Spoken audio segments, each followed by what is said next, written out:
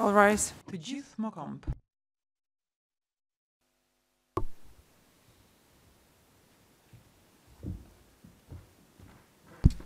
The Kos Dhomat e specializuara të Kosovës çelin seancën. Gjykatësja, zini vend, ju lutem. Faleminderit. Mund të uleni. Ju lutem paraqisni lëndën. Sekretarja e seancës, mirëmëngjes, kjo është e KSC-CA-2024-03 prokurori i specializuar kundër Pjetër Shalës. Gjykatësja, faleminderit, mirëmëngjesi të gjithëve dhe mirë se erdhët në sallën e gjyqit. Unë jam gjykatësja Pikar, jam kryegjykatësja në këtë lëndë. Ju faleminderit. Dhe fillimisht prezantoni palët, prokuroria, mbrojtja edhe mbrojtësi i viktimave. Fillojmë njëherë me zyrën e prokurorit të specializuar. Prokurori, mirëmëngjes, për ZPS-ën, është Line Peterson, menaxhere e lëndës, Eva Pettenberg, është juriste, Sarah Clanton, dhe unë Filippo Deminicis që jam prokuror i prokurorisë. Mbrojtja? Gjilisen, mirëmëngjes, unë jam Jean Louis Gjilisen, jam këtu me dy bashkëmbrojtësit e mi, zotin Aouini dhe zonjën Leta Kariolu, kemi këtu po ashtu juristen Xheneta Petrovica, kemi po ashtu një juriste tjetër Kelly Chen, Po ashtu një ndihmëse tjetër është Judith Kolb, ndihmëse juriste Ana Gonzalez, edhe një stazhiere që është pjesë e ekipit tonë Alana Gonçalves, Alana ma ma bom zdo. Edhe zoti Shala po na ndjek përmes videolidhjes.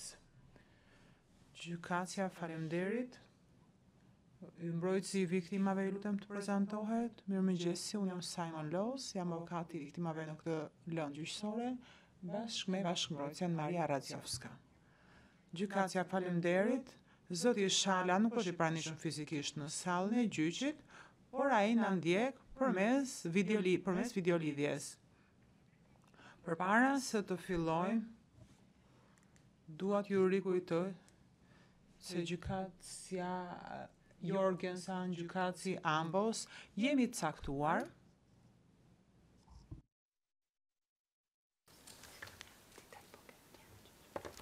I forgot to kërkova ndje, kërkoj ndjesë, harrova, t'i kërkoj dhe zyrës administrative të prezantohet. zyra administrative. Unë jam këtu i fshehur këtu mbrapa, prandaj nuk më patë. Jonas Nilsson. Jam zëvendës administrator për zyrën administrative këtu i pranishëm sot. Gjykatësja, faleminderit. Mirë, atëherë dhe një herë. Gjykatësi Ambos dhe gjykatësja Jorgensen si dhe unë jemi të caktuar në panelin e gjykatës së apelit për të vendosur lidhur me apelin kundër aktgjykimit që është shqiptuar në këtë çështje gjyqësore më 16 korrik 2024. Në përputhje me rregullën njëqind e shtatëdhjetë e tetë të Rregullores, qëllimi i kësaj konference para apelit është që t'i jepet të akuzuarit mundësia të ngrejë problematika që ka sa i takon burgimit të tij, sa i takon dhe kushteve mendore dhe fizike. Më katër shtator dy mijë e njëzet e katër unë lëshova një urdhër, në emër të trupit gjykues për të pasur këtë konferencën që kemi sot dhe të caktojmë edhe rendin e ditës që duhet të ndjekim. I rikujtoj të gjitha palëve që duhet të respektojmë disa rregulla në mënyrë që të kemi një seancë efikase, të keni parasysh nevojën që duhet bërë përkthim, keni parasysh që ka përkthim, çka do të thotë që kërkohet Pak kohë, pak pauzë pasi të përfundoni fjalinë tuaj. Ju lutem, kërkoni leje përpara se të flisni dhe mos harroni të ndizni mikrofonat. Seanca zbardhet në kohë reale dhe do të pasqyrohet në një transkript që do t'i vendoset në dispozicion publikut. I rikujtoj Palëve të njoftojnë paraprakisht nëse dëshirojnë të bëjnë një parashtrim që ka informacion konfidencial në mënyrë që të kalojmë në seancë private ose në seancë të mbyllur. Seanca e sotme do të kryhet në përputhje me rendin e ditës që ishte vendosur në urdhrin përkatës për seancën e ditës së sotme. Fillimisht Dëshiroj të dëgjoj parashtrime sa i takon ndalimit të të akuzuarit. Më pas zyra administrative duhet të na thotë cili është përditësimi për përkthimin zyrtar të aktgjykimit në shqipe dhe kur pritet që të përfundohet aktgjykimi. Në fund do të dëgjoj parashtrime për çdo aspekt tjetër. Fillimisht rikujtoj se mbrojtja e zotit Shala ka informuar panelin se dëshirojnë të trajtojnë tri çështje.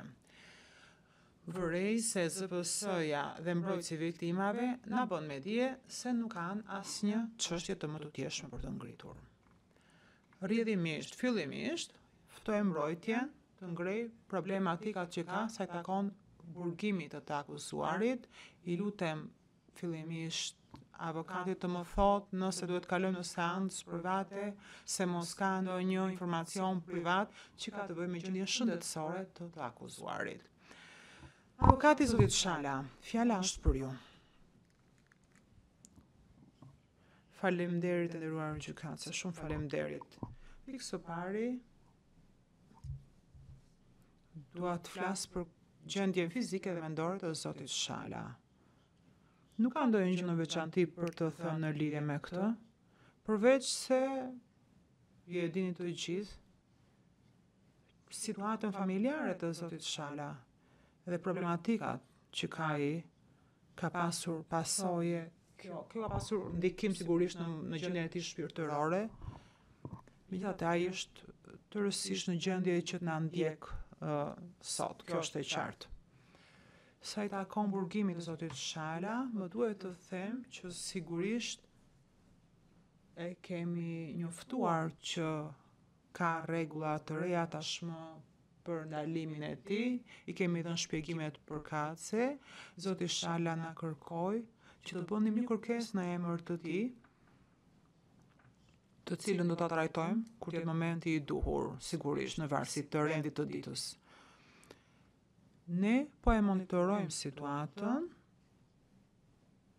e familjes veçanërisht, edhe do t'ju njoftojmë nëse është e nevojshme që të ngremë diçka në lidhje me këtë. Ju faleminderit për vëmendjen. Gjykatësja faleminderit. Zoti prokuror, keni ju ndonjë gjë për të thënë lidhur me këtë temë? Prokurori jo nuk kemi asgjë. Mbrojtësi i viktimave, Keni diçka për të thënë? Mbrojtësi i viktimave, jo nuk kemi gjë për të thënë. Gjykatësja, faleminderit. Sa i takon ë, paraburgimit të të akuzuarit gjatë procesit të apelit, unë në emër të panelit ju njoftoj se në përputhje me nenin 46 8 të ligjit, me përjashtim të rasteve kur Trupi gjykues ose paneli i gjykatës së apelit jep një urdhër të ndryshëm, personi i dënuar do të mbetet në paraburgim deri në momentet që do merret vendimi i formës së prerë. Më tej ju rikujtoj se në përputhje me konstatimin e panelit të apelit në lëndën KSCCA 2020-01, është konstatuar se për dallim nga faza paraprake, para se të merret vendimi, pra, ku Gjykatësi paraprak apo trupi gjykues bëjnë çdo dy muaj rishikim në paraburgim në përputhje me rregullin e procedurës dhe evidencave të ligjit. Nuk është më kjo e mundshme pasi fillojnë procesi i apelit. Sot do të flasim gjithashtu lidhur me ndonjë përditësim të mundshëm sa i takon përkthimit të aktgjykimit në gjuhën shqipe. Bëj me dije sidoqoftë që përkthimi i paredaktuar i aktgjykimit është dorëzuar më katër shtator dy mijë e njëzet e katër. I lutem përfaqësuesit të Zyrës Administrative të marrë fjalën të na përditësojë në lidhje me këtë. Nilsson, faleminderit. Po, ju konfirmoj se përkthimi i paredaktuar është përfunduar dhe është dorëzuar më katër shtator Pra, që do të thotë nuk është dhënë ende zotit Shala zyrtarisht, por dokumenti gjendet në legal workflow dhe ka akses mbrojtja e tij. Përkthimi i përfunduar dhe redaktimi i përkthimit pritet të dorëzohen në fund të tetorit, javën e fundit të tetorit, tërësisht i përfunduar. Tani do të flasim për pikën e fundit në rendin e ditës. Pra, ka të bëjë me tre aspekte që dëshiron të trajtojë mbrojtja e zotit Sala. Pikë së pari që versioni i redaktuar publik i aktgjykimit nuk është ende i disponueshëm. Së dyti, se mbrojtja synon të dorëzojë një kërkesë për shtimin e numrit të fjalëve dhe zgjatjen e afatit për dorëzimin e dosjes së apelit dhe së treti se mbrojtja ka nevojë për disa udhëzime sa i takon apelit kundër uh, urdhrit për zhdëmtim nga trupi gjykues.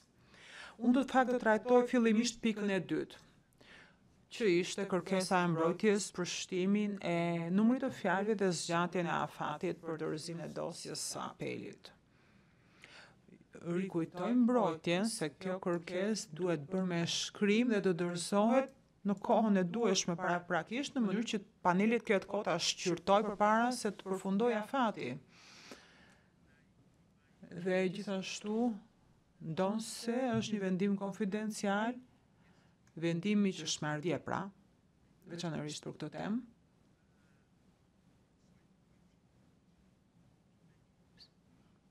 Pra, keni ndonjë gjë për të thënë në lidhje me këtë? Zhilisen. Mbase është gabim, po mendoj që është pak e çuditshme. Kjo ne kemi pas problemin e përkthimit, do të ishte mirë që Zoti Shala t'ju thotë disa fjalë se si është situata mbase dhe më pas do të them unë diçka të mëtutjeshme se unë mendoj që problemi i përkthimit ka pasoja të veta edhe sigurisht që kemi bërë një kërkesë për zgjatjen e afatit dhe shtimin e numrit të fjalëve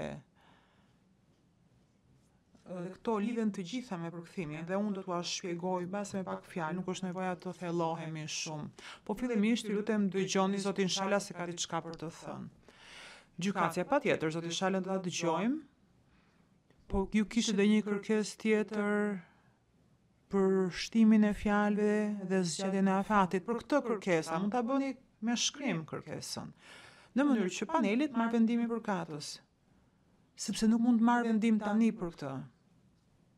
Sigurisht që ne do ta shqyrtojmë kërkesën tuaj me shkrim dhe do të marrim vendim përkatës. Gilissen, absolutisht po. E dimë këtë gjë. Po do do ta do kujdesemi ne për këtë gjë patjetër. Zoti Shala, doni të thoni diçka? Mirëdita, ju përshëndes. Po, e nderuara gjyqtare, unë kam një shqetësim shumë të madh, sa i përket për tri ditë seancë të mëparshme, me 15, 16 dhe 17, ku ishte përfundimi, leximi përfundimtar, Vetëm për tri ditë gjetëm mbi dyqind e trembëdhjetë fjalë të ndryshuara, jo gabimisht të përkthyera, po të ndryshuara. Dhe unë nuk e kam akoma në gjuhën shqipe, duke pa rrjedhën, si ka rrjedhë gjykimi im Prej fillimit deri deri në ato tri ditë të fundit nuk e kam pas vëmendjen se nuk ma ka marrë mendja që bëhen gabime të tilla që të ndryshohet fjala. Mirëpo me gjashtëmbëdhjetë dhe shtatëmbëdhjetë Pesëmbëdhjetë, gjashtëmbëdhjetë dhe shtatëmbëdhjetë e kemi të vërtetuar që ka dyqind e trembëdhjetë gabime, ndryshime fjalësh, nuk janë gabime, po ndryshime të fjalive, që ia humb gjithë kuptimin e gjithë shkrimit. Tani, unë akoma nuk e kam as aktvendimin të përkthyer. Unë nuk di si do të ankohemi, bëjmë ankesën, kur unë nuk e di me çfarë mënyre dënohem. Mbi këtë akt vendimi dënohem për vrasje që s'kam vra kurrë në jetën teme askënd. Ma shpjegojnë avokatët po unë nuk muj me besue përderisa nuk e kam zyrtarisht, mënyrë zyrtare përpara veti që ta lexoj, ta kuptoj se për çka jam i dënuar. Dhe nuk e di si kam mundësi të punoj me avokatët dhe të bëjmë ankesat. Kur akoma nuk e nuk e kam të përkthyer. Gjithkund në botë.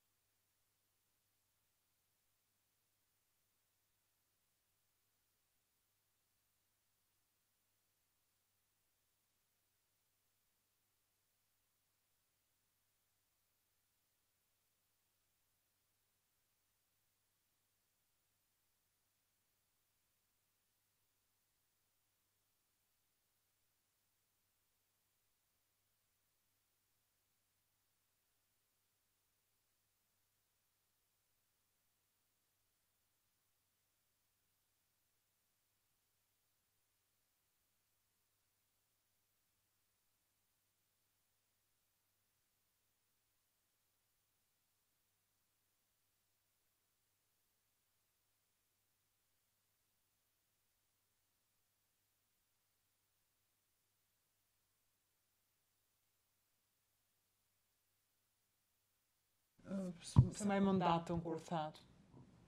Po s'po e kuptoj sakt, s'po e kuptoj se për, për cilën seancë keni fjalën kur thatë?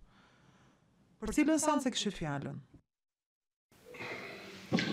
Po, për seancën përfundimtare, që ishte ku kam folë edhe vetë, me 15, 16 dhe 17, nuk më kujtohet, ah, okay. tani para...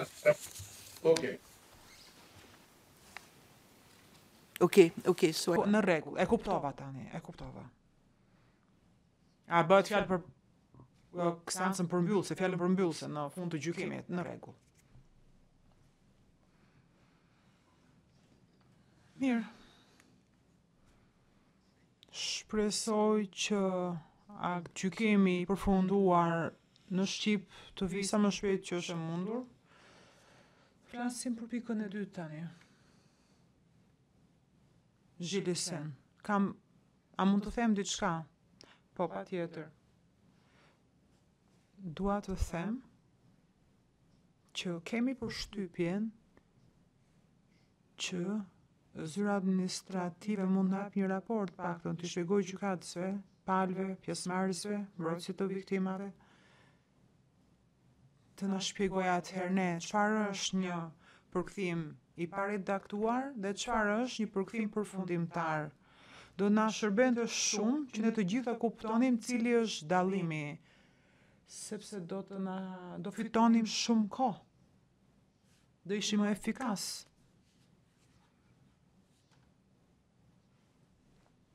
Unë besoj se përkthyesit janë pjesë e zyrës administrative dhe besoj që zyra administrative është njësia përgjegjëse për këtë. Po shoh që administratori, zëvendës administratori po pohon me kokë.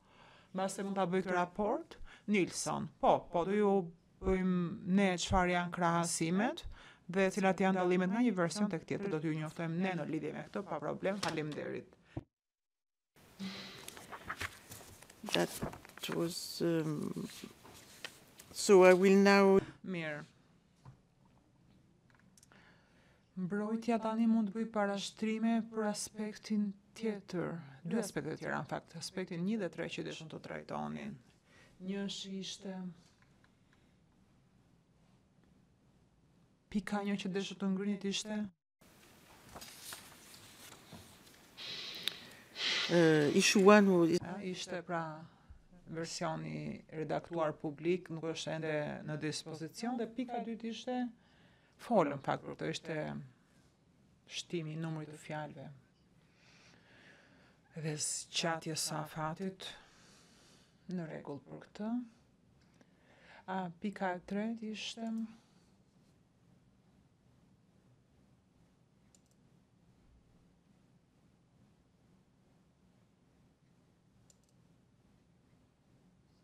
Ma, më mirë merreni vetë fjalën dhe na sqaroni cila ishte pika e tretë.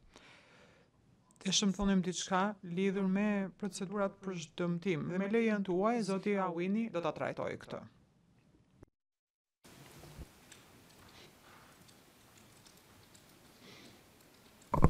Good morning, Your Honors. Mirëmëngjes, të nderuar gjykatës, jam i lumtur që ndodhem këtu para jush në këtë seansë të nderuar gjykatës. Katës, unë do të flas këtu për urdhrin për zhdëmtim dhe më pas çështja e publicitetit të procesit mbi të cilën zonja Karioli do të flasë pak më vonë. Në qoftë se ju nuk dëshironi që ta merrni këtë përpara, Gjykatësja: Po, tani duhet ta bëjë, a unë atëherë do t'ia jap fjalën zonjës Karioli për të folur për këtë Karioli. Karioli. Shkurtimisht, të nderuar gjykatës, siç e dini, zoti Shala është dënuar me datën 16 korrik. Fakti është që fakti njihet, por arsyetimi është i panjohur për të gjithë me përjashtim të disa personave të cilët kanë patur qasje në aktgjykimin konfidencial Është dhe ky është shqetësim nga ana jonë, zoti Shala dëshiron që ta ketë në dorën e tij aktgjykimin e përfundimtar, pasi është e drejta e tij për që gjykimi të mbahet në publik dhe këtë të drejtë e kanë edhe të gjithë familjarët, akademia, media, avokatët që të gjithë kanë të drejtën që të ndjekin këto këto procedura në publikisht. Fakti që aktgjykimi edhe pas dy muajsh mbetet konfidencial, po kështu edhe dosja para para prake dhe kjo pengon faktin e mundësisë së ngritjes së apelit. Pra kjo çështje bën pengon neve që të diskutojmë këto çështje në publik, të diskutojmë argumentet e prokurorisë e kështu me radhë është situatë skandaloze. Ky është shqetësimi ynë që këto procedura janë mbajtur me dyer të mbyllura që nuk është e pranueshme. Ne e dimë që ju nuk jeni në gjendje vetë, nuk e keni kompetencën që që ta të nxirrni një variant të redaktuar publik, por dua të shpreh këtë shqetësim. Gjykatësja, Po, jam dakord që procedurat përpara dhomave të specializuara duhet të jenë publike në masën e mundur. Kur kjo nuk është e mundur, atëherë do të duhet që parashtrimet të protokolluara të dorëzohen në kohën e duhur të redaktuara për publikun. Megjithëkëtë, siç e di, pala e mbrojtjes ka disa shqetësime apo arsyetime të, të sigurisë që justifikojnë mbajtjen konfidenciale të një disa informatave. Dhe ju ju po kujtoj këtu se çfarë tha trupi gjykues ditën kur u dha dënimi që Varianti i redaktuar publik do të lëshohet në momentin e duhur, kështu që po përsëris veten kur them që kjo do të bëhet në fund në të tetorit. Përveç kësaj, trupi gjykues ka marrë të gjitha masat që procedurat e apelit të jenë publike dhe do të vazhdojmë këtë në këtë mënyrë dhe në këtë mënyrë do të dua që të bëj të duhur të bëj të njohur palëve që të gjitha dosjet e protokolluara të të riklasifikohen publike dhe të bëhen dhe t'i dorëzohen publikut me të përfunduar varianti i redaktuar i aktgjykimit. Në këto rrethana nuk konsideroj që mungesa e një versioni të redaktuar publik të aktgjykimit ndikon të drejtën e të akuzuarit për një gjykim publik. Po kështu ne e dimë që kjo konferencë para apelit mbahet e hapur për publikun.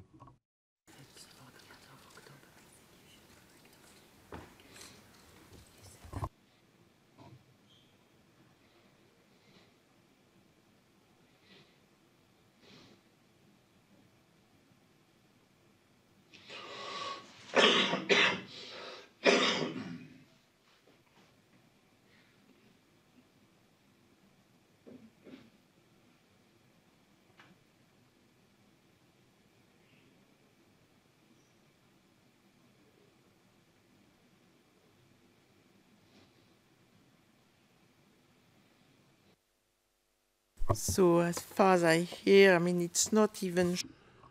Me sa kuptoj, nuk e nuk është e sigurtë që varianti i redaktuar publik i aktgjykimit do të dorëzohet brenda fundit të tetorit.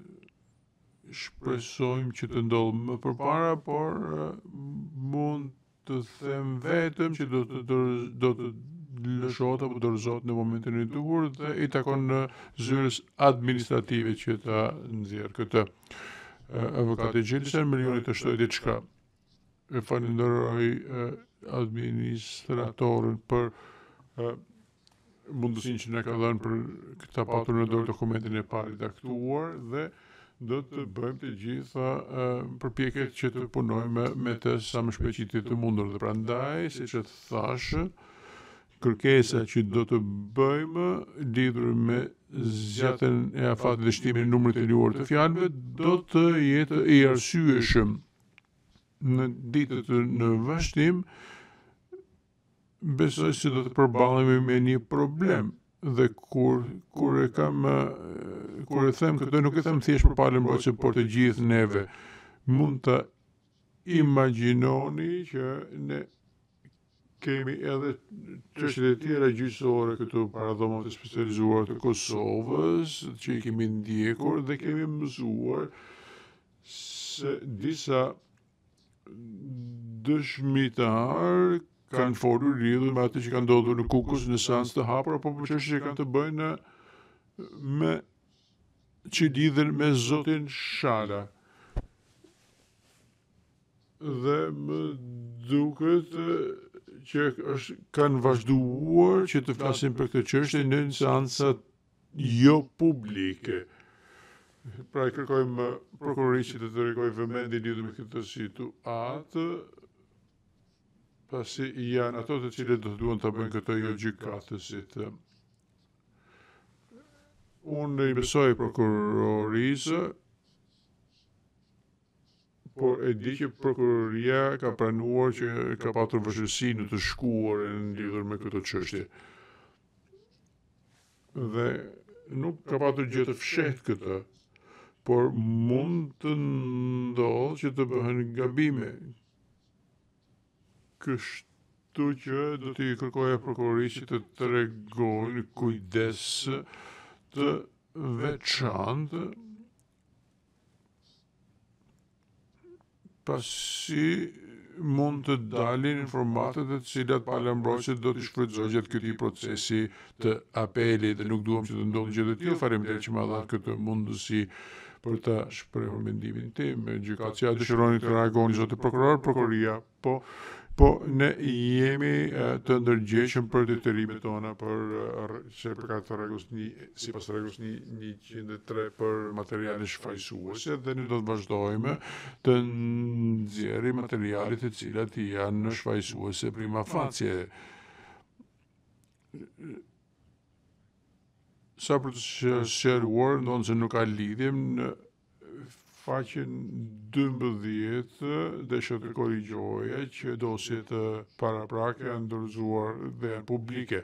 Ka patur një variant të redaktuar publik të, të dosjes së, së prokurorisë dhe versionin e mbrojtjes, por sa i takon prokurorisë, dokumentacioni i çështjes gjyqësore e ka një e ka këtë dosje të redaktuar publike në kuadrin e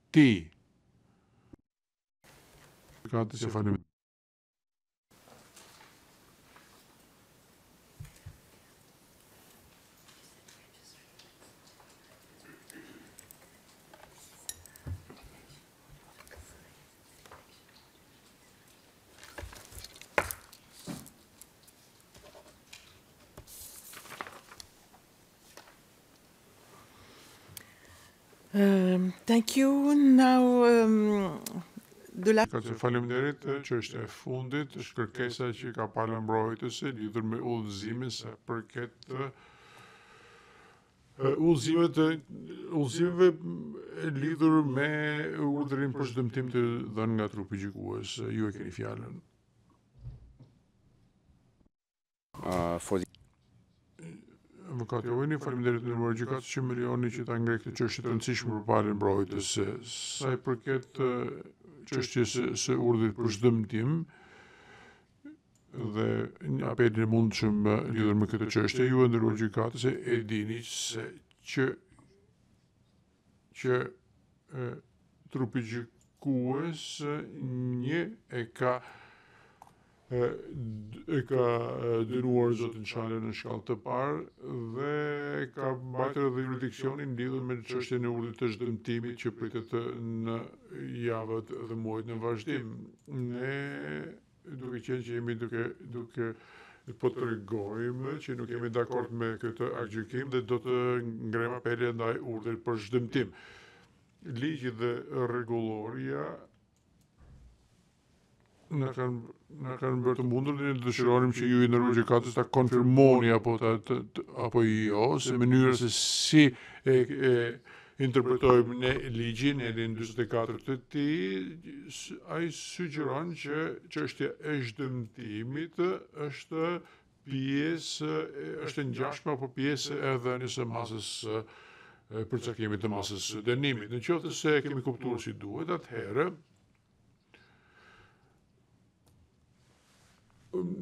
ne atëherë i takon sipas nesh panelit të gjykatës së apelit që të lëshoj apo të merret automatikisht edhe me çështjen e urdhrit për zhdëmtim dhe prandaj ne po kërkojmë udhëzime në këtë fazë të hershme nga ju e nderuar gjykatëse Pra kërkesa jonë është që të, që të na sqaroni se cilat janë procedurat e zbatueshme për um, apelimin kundër këtij urdhri si dhe përsa i përket edhe afateve kohore dhe numrit të fjalëve që kanë të bëjnë lidhur me apelin që ka të bëjë me këtë çështje të repar të zhdëmtimit. Situata që duam të shmangim është që ka ndodhur në çështjen gjyqësore Mustafa ku urdhri i zhdëmtimit nuk është apeluar veçmas, por është hedhur poshtë Në qoftë se e nderuar gjykatëse e keni e, e interpretoni ndryshe këtë çështje dhe duke qenë që juridiksionin lidhur me këtë e mban trupi gjykues, atë do të duhej atëherë që të kemi një procedurë të një procedurë tjetër me të lëshuar ky urdhër dhe prandaj në këtë moment ne duam që t'ju kërkojmë juve që tani që të na tregoni se cilat janë ato udhëzime me të dalë ai urdhër. Pra ne duam të dimë nga ju e nderuar gjykatëse nëse e keni mandatin për t'i dhënë këto udhëzime dhe modalitetin e apelit që do të bëhet. Pra Ne dëshirojmë që të kemi sqarim lidhur me procedurat për apelimin për apelimin kundër dënimit në radhë të parë dhe urdhrit të zhdëmtimit në radhë të dytë dhe kjo me këtë po merremi në këtë moment. Këtë kërkesë e nderuar gjykatëse ne po e bëjmë në afat të hershëm me qëllim që t'i japim të shfrytëzojmë kështu të drejtën tonë dhe të drejtën që ka Zoti Sala për të kundërshtuar çdo vendim para trupit gjykues në kohën e duhur. Ky është parashtrimi që kisha, i lumtur që të bëj parashtrime të tjera gjykatësja po faleminderit. Kërkesa juaj aktualisht është paksa e parakohshme. Um, pasi nuk është nxjerrë një urdhër dëmshpërblimi. Prokuroria dëshiron të shtojë ndonjë gjë, prokurori jo nuk kam gjë për të shtuar. Gjykatësja ë mbrojtësi i viktimave, mbrojtësi i viktimave po jemi dakord që është e parakoshme, por në të njëjtën kohë ne mendojmë se rregullat kanë një përjashtim lidhur me afatet dhe me procedurën për apelimin e një urdhri për zhdëmtim. Ne kemi mendimin tonë lidhur me këtë çështje dhe lidhur me përfundimin që do të do të që përfundimin që do të vijë përmes vendimit të tuaj zonja e nderuar gjykatëse dhe kolegëve tuaj, por ne sugjerojmë që kjo çështje do të mund të bëhej më mirë me shkrim se sa me gojë. Dhe ne do ta ne do të dëshironim që këtë çështje ta ta ta, ta bëjmë pikërisht me shkrim. Gjykatësja do të ishte më lehtë që kjo të bëhej vërtet me shkrim. dhe Apeli dhe Paneli i Dhomës së Apelit do të japë udhëzime menjëherë pas lëshimit të urdhrit të për zhdëmtim. A ka ndonjë gjë që dëshironi të shtoni? Në qoftë se nuk keni gjë tjetër për të shtuar, atëherë këtu e përfundojmë seancën e ditës së sotme. Ju falenderoj palët, mbrojtësin e viktimave dhe Zyrën administrative për praninë dhe kontributet e tyre, falënderoj po kështu përkthyesit, stenografët, teknikët audiovizual dhe si personelin e sigurisë për ndihmën që na kanë dhënë. Seanca mbyllet. Sekretaria të gjithë në këmbë.